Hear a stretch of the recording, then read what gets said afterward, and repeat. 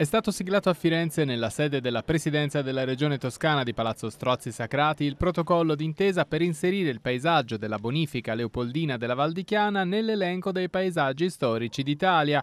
L'accordo coinvolge gli assessorati regionali all'agricoltura, all'urbanistica e le 11 amministrazioni comunali interessate dalla bonifica, capofila il comune di Lucignano, per promuovere il valore storico, culturale e paesaggistico del territorio. Questo territorio non è stato modificato, ancora oggi dopo quell'intervento così importante è rimasto dedicato all'agricoltura e è rimasto intatto ed è per questo che ci teniamo ad avere questo riconoscimento storico naturalmente per le nostre attività, per le nostre imprese e per la ricaduta che avrà sul, su tutto quanto il territorio e la parte economica. Il riconoscimento del paesaggio leopoldine in Val di Chiana prevede la predisposizione di un dossier che passerà all'attenzione dell'Osservatorio Nazionale del Paesaggio Rurale e che sarà redatto secondo i criteri approvati dal Ministero per le Politiche Agricole. La Regione ha deciso di supportare il progetto nel comitato organizzatore.